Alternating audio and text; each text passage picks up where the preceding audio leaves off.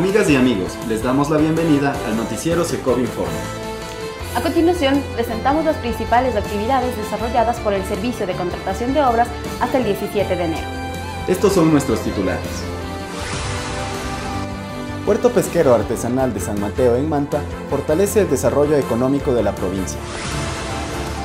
Manta Zactapi, Puerto Pesquero Artesanal Nisca, Cusquicama y Chico.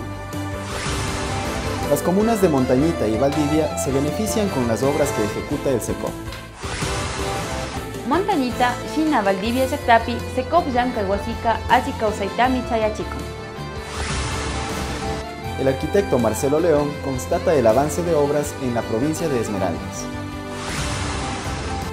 Marcelo León, Esmeraldas Zactapi, Tucurura Cuscata, Ricunamandeca. El presidente Rafael Correa recorre la unidad educativa del Milenio Malimpia y el puerto pesquero de Esmeraldas. Pushak, Rafael Correa, Malimpia y Acheguasiti, China, puerto pesquero de Esmeraldas, Nishkapi, Purigrica. Empezamos. El arquitecto Marcelo León, director general del Servicio de Contratación de Obras, junto a funcionarios de la Empresa Pública de Infraestructura Pesquera del Ecuador, representantes del Ministerio de Agricultura, Ganadería, Apicultura y Pesca, MAGAP, y líderes de la zona 4 y 5 del SECOV, recorrieron este sábado 4 de enero la construcción del puerto pesquero artesanal San Mateo en Manta. Durante la supervisión, el arquitecto León manifestó que realizará un seguimiento prioritario al proceso constructivo para que el puerto sea entregado al MAGAP en los plazos previstos. El puerto de San Mateo tendrá capacidad de operatividad para 200 lanchas y embarcaciones denominadas nodrizas. Esta obra se ejecuta en un terreno de 49.351 metros cuadrados y un área de construcción de 2.421 metros cuadrados. La ejecución del puerto fortalece el desarrollo de la actividad pesquera de la zona, dotando de espacios dignos y adecuados a pescadores, pequeños y medianos comerciantes, como a los habitantes del sector.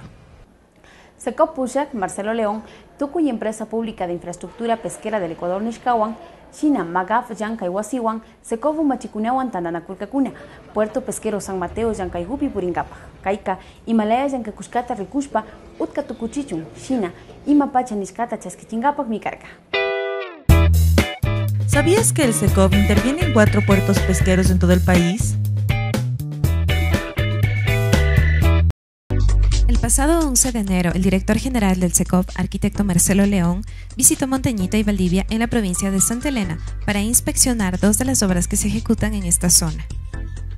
En Montañita recorrió el sistema de saneamiento donde pudo constatar las condiciones de los pozos y el funcionamiento de la laguna de oxidación.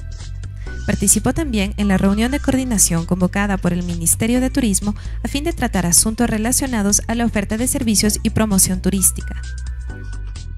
Una vez concluida la reunión, el arquitecto León visitó el Parque Marino Valdivia junto al ministro de Turismo, Máster Vinicio Alvarado, y representantes de la provincia. Allí verificaron el diseño de las salas, peceras para exposición y la calidad de materiales utilizados. César Palacios, gobernador de la provincia de Santa Elena, se refirió al aporte que traerá a la comunidad del sector el funcionamiento del parque. Sí, nos encontramos aquí en el Acuario de Valdivia, eh, alrededor de 4.800.000 dólares en inversiones. Eh, es un acuario que pedía voz en la provincia de Santa Elena. Es necesario para el desarrollo del turismo un acuario de estas características que va a permitir en el mes de febrero que recibir la visita de eh, turistas nacionales y extranjeros.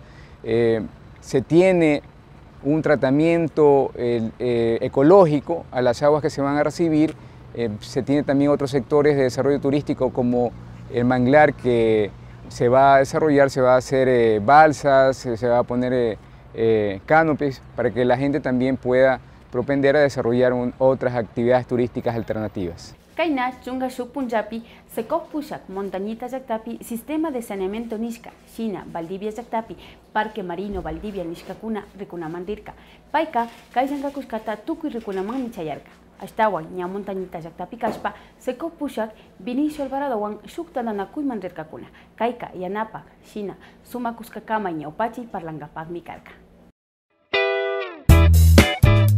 ¿Sabías que el SECOP interviene en más de 60 proyectos en la provincia de Esmeraldas? El arquitecto Marcelo León, director general del Servicio de Contratación de Obras SECOP, realizó un recorrido para constatar el avance de ejecución de las obras en la provincia de Esmeraldas este 13 de enero del año en curso. La primera obra visitada fue el puerto pesquero, en donde comprobó los avances significativos de esta gran infraestructura que mejorará el comercio y turismo de la localidad. La obra consta de vías de acceso, bodegas para comerciantes, edificio de capacitaciones, área administrativa, mercado minorista, talleres mecánicos y de fibra, entre otros. Horas más tarde recorrió el Hospital Delfina Torres de Concha, en donde mantuvo una reunión con los contratistas y personal del SECOV para coordinar acciones.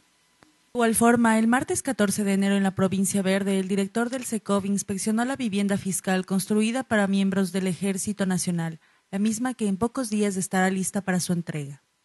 Visitó además el complejo deportivo Homero López, lugar en donde mantuvo una reunión con el administrador de contratos para definir temas concernientes a esta construcción. Con el interés de verificar los avances de los centros infantiles del buen vivir, el arquitecto León recorrió la construcción de Viche, obra en la que se están ultimando detalles para su entrega definitiva. Kaina, chunga kimsa, chunga chusco enero, punjakunapi, seco pushak, Marcelo León, tucuiguasichicushkatami, Mandirka, Puerto Pesquero, Hospital Delfina Torres de Concha, Vivienda Fiscal, Complejo Deportivo Homero López, Sinayatak, Centro Infantil del Buen Vivir Nishkakuna, Chaipita Nanakurkakuna, Ruraskunawan, Shina, seco Buyankakunawan, Ukutixikunaman Parlangapak. ¿Sabías que el SECOP ejecuta la construcción de 19 unidades de policía comunitaria en Esmeraldas? Este 14 de enero, el arquitecto Marcelo León, director general del Servicio de Contratación de Obras, presentó al presidente de la República, economista Rafael Correa, los avances en la construcción del puerto pesquero de Esmeraldas. En horas de la tarde, el presidente Correa asistió a la carpa explicativa sobre la construcción de la unidad educativa del milenio en la parroquia Malimpia, cuya exposición la realizó el arquitecto León. Esta es la distribución general de la unidad del milenio de Malimpia. Eh, tenemos hacia, hacia abajo el ingreso. Marcelo, eso es importante explicar para que vean todo lo que va a tener la escuela, ¿no? Por supuesto, señor presidente. Hacia el, hacia el lado izquierdo está el ingreso, eh, que es por donde entramos esta vez, todos los parqueaderos. En la parte 3 es donde estaría la administración de la escuela Cuatro, eh, la biblioteca, hay un laboratorio ahí detrás de la biblioteca que no está mencionado en el, en el, listado, que es un laboratorio de, lenguas para la comunidad. Eh, el número 5 es la inspección, el número 6 son los laboratorios de ciencias naturales, el número 7 el laboratorio de química y física, el número 8 el laboratorio de idiomas y el laboratorio informático, el 9 son los bloques de aulas, que es lo que vemos en esta parte de acá, el 10 es el patio cívico, tiene un gran patio cívico. El 11, el comedor hacia el frente de la escuela, estará en esta zona de aquí que se está fundiendo en este momento. El 12, el cuarto de máquinas. El 13, los vestidores, tiene una cancha de fútbol y una cancha de fulbito y dos canchas de uso múltiplo hacia, este sector. Eso es lo que comprende todo el complejo de la Escuela del Milenio. La unidad educativa consta de las siguientes áreas: patio cívico, bloque de aulas, bloque de laboratorios de ciencias exactas, tecnología, idiomas, biblioteca, comedor, administración y canchas. El principal desafío del país es terminar con la pobreza. Y les insisto, no es caridad, no es generosidad, es justicia, derechos, igualdad de oportunidades y sobre todo a la oportunidad de una educación de calidad y calidez. Y falta mucho por hacer. Pero caramba si estamos dando pasos gigantes. Esta escuela del milenio va a revolucionar la educación en Malimpia y en Quinindé, compañeros. Estamos haciendo muchas de estas. Ustedes ya pueden ver algunas de estas escuelas ya hechas, porque son modelos estandarizados. El SECOV, entidad especializada en construcción de obra civil, ejecuta varios proyectos solicitados por diversas instituciones públicas para asegurar un posterior servicio de calidad a la ciudadanía de la localidad. Wow, genial, sorprendente, nunca me lo imaginé. Y anhelo y espero por toda mi vida estudiar aquí, porque es una inmensa alegría tener esta escuela. Tantos jóvenes con bajos recursos necesitaría estar aquí. Eso es algo sorprendente que me anhela, me anhela. Y con mucho esmero y entusiasmo espero que el presidente siga haciendo estas escuelas del milenio. Pushak, Marcelo León, Esmeralda Yactapi, Pushak, Rafael Correaman, Puerto Pesquero Nishka, Himalaya Rurakuskata Rikuchirka, Shina Yatak Chishipi, Pushak, Malimpia Yache Guasiman, Ashi Yuyachi Guyanamandirka, Chaypi Pushak, Masna Oyacha Wawakunata, Ashi Paktachikuskata, Huillarka. A continuación revisaremos las noticias más destacadas de la prensa nacional. Este jueves 16 de enero, El Expreso destaca la construcción de unidades educativas del milenio en Guayaquil.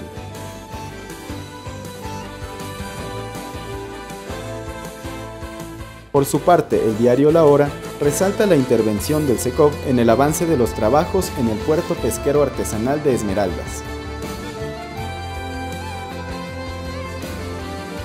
La Agencia Pública de Noticias del Ecuador y Suramérica, Andes, señaló la entrega de unidades educativas del milenio en todo el país.